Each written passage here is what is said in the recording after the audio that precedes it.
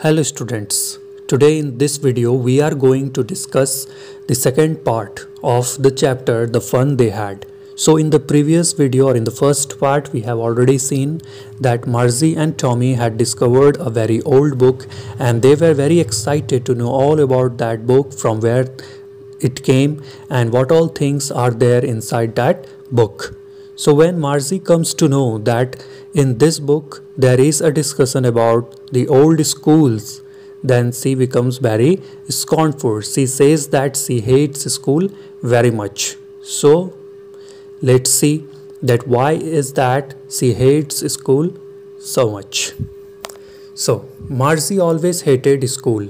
She hated school very much है ना तो मार्जी का क्या था कि she hates school very much तो क्या रीज़न था उसके स्कूल हेट करने का the mechanical teacher had been giving her test after test in geography and she had been doing worse and worse until her mother had shaken her head sorrowfully and sent for the county inspector ठीक है? तो क्या बोल रहा है कि मार्जी जो है वो अपने स्कूल को बहुत ज़्यादा हेट करती है but now she hated it more than ever लेकिन अब जो है वो अपने स्कूल को और भी ज़्यादा हेट करती है. क्यों हेट करती है? क्योंकि इन मार्जी का जो मैकेनिकल टीचर है, वो हर दिन ज्योग्राफी का टेस्ट लेता है और हर बार मार्जी जो है, उस ज्योग्राफी के टेस्ट में अच्छे नंबर नहीं लाती है। हर दिन मार्जी का जो प्रोग्रेस है, वो दिन पे दिन घटता ही जा रहा है, जिसके कारण कि एक दिन इसकी माँ बहुत ज़्यादा गुस्सा हो जाती है और काउंटी इंस्पेक्टर को बुलाती है। तो काउंटी इंस्पेक्टर कौन होते हैं? काउंटी इंस्पेक्टर एक तरह के एक ऐसे इंसान हैं जो कि उस समय के, है ना ट्वेंटी वन फिफ्टी सेवन में वो क्या काम करता है कि जो भी मैकेनिकल टीचर है मतलब रोबोट्स है, उसका वो देख रेख करता है। अगर रोबोट सही से काम नहीं कर रहा है तो वो आके उस रोबोट का मरम्मत करता है, ठीक है? एक तरह से समझ लिया जाए कि ये एक तरह का मैकेनिकल इंजीनियर होगा या इलेक्ट्रॉनिक इंजीनियर होगा, ठीक है? जो आके बस ये देखने का काम करता था कि रोबोट के परफॉर्मेंस में कोई कमी तो नहीं है। है ना? अगर उसे पता चलता था कि रोबोट जो है वो अच्छा परफॉर्म नहीं कर रहा है, उसमें कोई कमी है, या रोबोट जिस बच्चे को पढ़ा रहा है, बच्चा बच्चे के अंदर कोई प्रोग्रेस नहीं हो रहा है तो प्रोग्रेस नहीं होने का क्या कारण है? ये सारा चीज़ पता लगाने का काम किसका हुआ करता था? काउंटी इंस्पेक्टर का हुआ करता था। तो इसीलिए मर्ज़ी की जो मदर है वो किसको बुलाती है? काउंटी इंस्पेक्टर को। He was a round little man with a red face and a whole box of tools with dials and wires तो वो कैसा आदमी था? एकदम गोल मटोल सा, लाल कलर का उसका चेहरा था, है ना? एकदम रेड फेस था। और वो अपने साथ हमेशा टूल्स डायल्स मैंने टूल्स लेके चला करता था डायल्स एंड वायर्स मतलब ढेर सारा एक बॉक्स रहता था उसके पास, छोटा जैसा।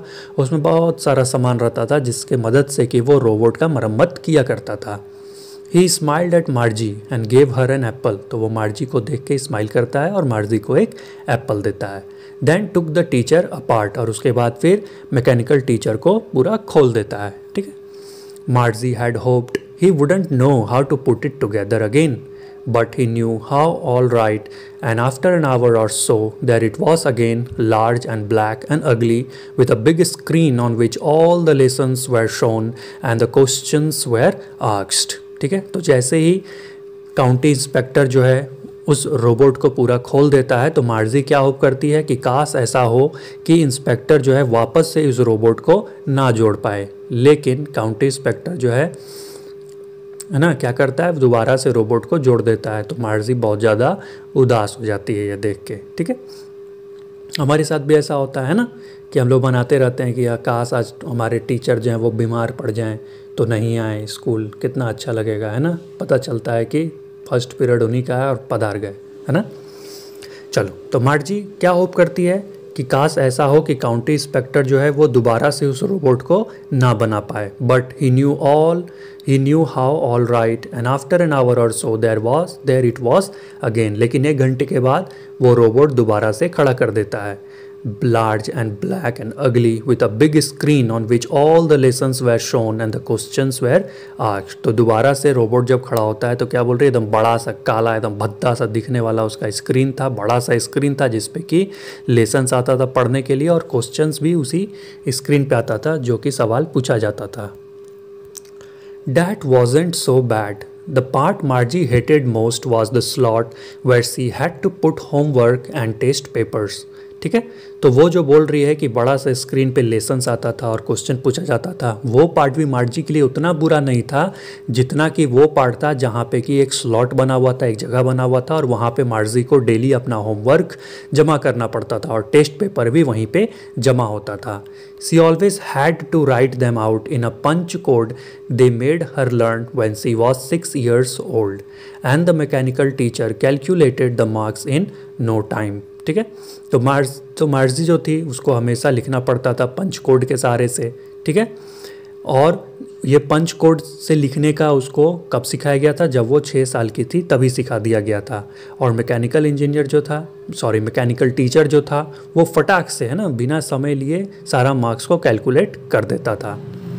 The inspector had smiled after he was finished and patted Margie's head. He said to her mother, It's not the little girl's fault, Mrs. Jones. I think the geography sector was geared a little too quick. Those things happen sometimes. I have slowed it up to an average 10 year level. Actually, the overall pattern of her progress is quite satisfactory. And he patted Margie's head again.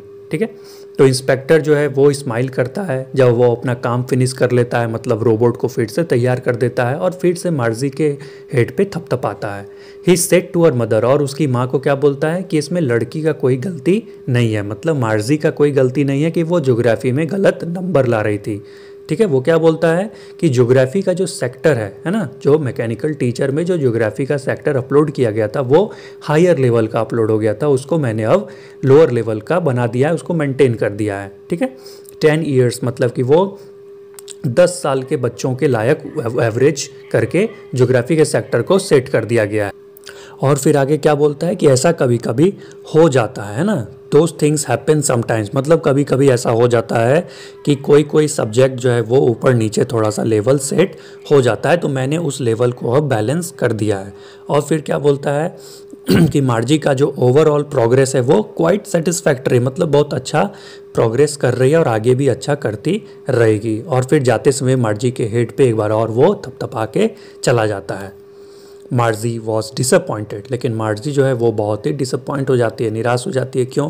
क्योंकि वो क्या hope कर रही थी कि इस बार county inspector आएगा तो टीचर को अपने साथ लेके चला जाएगा, या टीचर को जब वो खोलेगा तो दोबारा से जोड़ नहीं पाएगा, लेकिन वो फिर से दोबारा से मैकेनिकल टीचर को अच्छे से बना देता है।